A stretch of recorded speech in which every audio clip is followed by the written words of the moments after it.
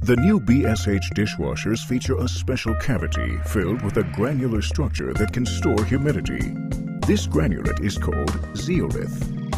When heated up during the cleaning phase, zeolith stores energy and releases the humidity contained within its crystalline structure.